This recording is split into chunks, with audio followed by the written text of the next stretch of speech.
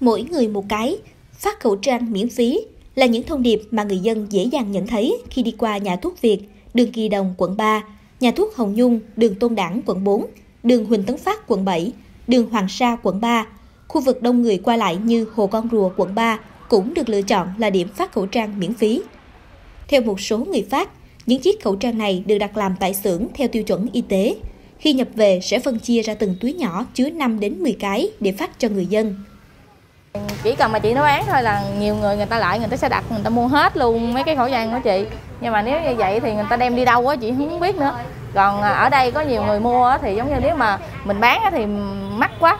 Giống như hồi lúc bán chị chị đi mua đi, nó mắc quá thì chị chị phải bán giá à, nó mắc đi nếu mà như vậy thì có những người người ta lại không mua mà nhiều khi người ta lại phản ứng ngược lại với mình đi người ta nói ừ sao mà bán mắc vậy này kia, hoặc nói mình kinh doanh hay này nọ đó rồi xong mấy chị thấy cũng như mấy ngày qua vậy đó. Rồi có những người mà cần thì người ta lại mua không được. Rồi nên chị thấy vậy á, chị phát nhưng mà chị không phát số lượng nhiều. Nhiều phát mỗi người một cái thì ai cũng dùng được hết. Mỗi lần mà chị đưa người ta có một cái khẩu trang vậy thì người ta cũng phải dừng xe lại người ta lấy đi. Thì mình thấy vậy người ta cũng phải dừng. Nhiều khi xe hơi nó cũng dừng lại người ta lấy nữa. Cái tự nhiên mình thấy nó vui. Mà chị mà thấy vui xong thì chị muốn làm tiếp. mỗi người mà cùng chia sẻ với nhau san sẻ với nhau thì cái dịch bệnh nó sẽ được đẩy lùi. Thì à, nếu mà ai cũng có ý thức ai cũng đeo khẩu trang hết thì đâu có sợ gì. Tôi bắt đầu phát từ hôm qua rồi nhưng mà nhập dự kiến là nhập 5 năm ngàn cái thì mong muốn là phát được vài ngày. Nhưng mà uh, do cái lượng người đến nó tăng đột biến từ tối đêm hôm qua đến sáng hôm nay là bây giờ đã gần hết 5 ngàn cái rồi.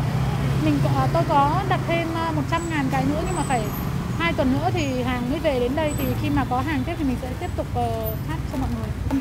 Và cái cách để mà mọi người phân biệt cái khẩu trang đúng và khẩu trang không đúng ấy là mọi người cắt cái khẩu trang của chúng ta ra ít nhất là phải có ba lớp nhé bốn lớp thì càng tốt. Ờ, cái lớp bên trong mình có một cái lớp giấy màu trắng nó rất là dai và không thấm nước. Mọi người đổ một, một, một ít nước lên cái lớp bên giữa là mọi người biết đấy là khẩu trang thật hay là khẩu trang giả nha khẩu trang y tế đạt chuẩn ấy là nó sẽ không thấm nước. Cái lớp uh, trắng bên trong. Lớp trắng đấy chính là, chính là cái lớp uh, lọc vi khuẩn đó Giữa lúc virus corona đang hoành hành, nhiều người phải mua khẩu trang y tế với giá cao gấp 3 đến 5 lần bình thường, thậm chí không có hàng để mua, thì những chiếc khẩu trang miễn phí này được xem như là cứu cánh cho họ. Ai nấy cũng rất vui vẻ đón nhận món quà thiết thực này. Tất cả em lấy khẩu trang này một phần là mẹ em chuẩn bị ra ngoài Bắc đó, cho nên là em muốn tìm khẩu trang nào đó kiểu ok một xíu để hiểu mẹ đỡ cho mẹ thôi.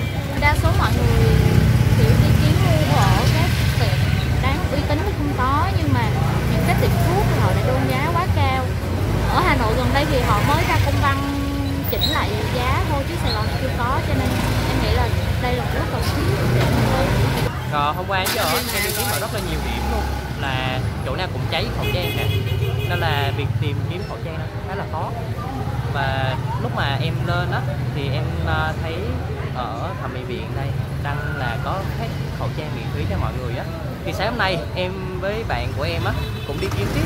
Nhưng mà những cái điểm mà kiểu tiệm thuốc tây hay là Thăng City á thì nó vẫn không có nó cháy hàng luôn nên là bọn em quyết định qua đây ạ à. thì em thấy những cái điểm như vậy á nó rất là giúp ích cho người dân cho kiểu như là trong quá trình mà phòng chống dịch bệnh sắp tới ạ không chỉ thành phố Hồ Chí Minh, một số tỉnh thành khác như Huế, Đà Nẵng, Đắk Lắk cũng xuất hiện nhiều điểm phát khẩu trang y tế miễn phí cho người dân và du khách.